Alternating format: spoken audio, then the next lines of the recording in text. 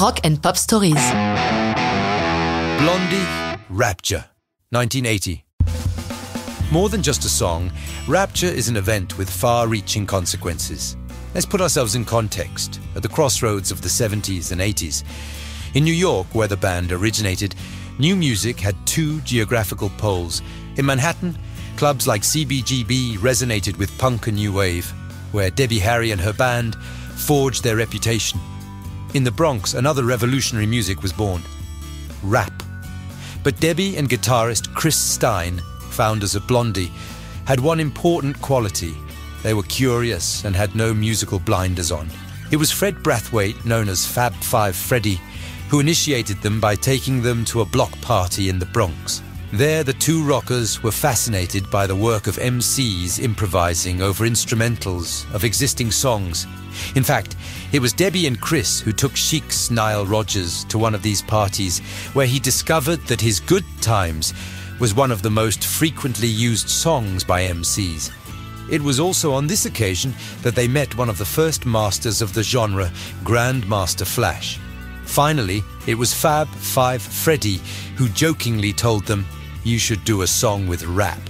For their fifth album, Autoamerican, recorded in California, Stein and Harry wrote Rapture, a track that obviously plays with the word rap.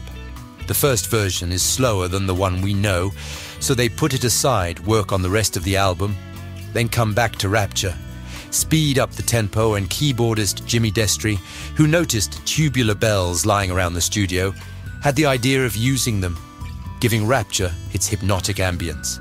Much has been made of Debbie Harry's flow and the slightly ridiculous lyrics, but it's easy to forget that the first rap lyrics were also a bit facile. The only thing that counted was the rhythm of the flow. When Debbie and Chris sent Rapture to Fab Five, Freddy before the single's release, he was very enthusiastic the public was equally enthusiastic, released as a single on January 12, 81. Rapture reached number one in the United States and spread across the planet.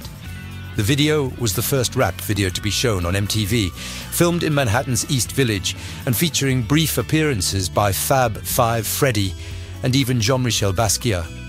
The enormous success of Rapture provoked a huge curiosity about rap, with famous rappers such as Wu Tang Clan, telling Debbie that they had discovered rap thanks to Rapture. A few months later, Tina Weymouth's Tom Tom Club, Talking Heads bassist, followed suit with Wordy Rappinghood. But that's another rock and roll story or rap story.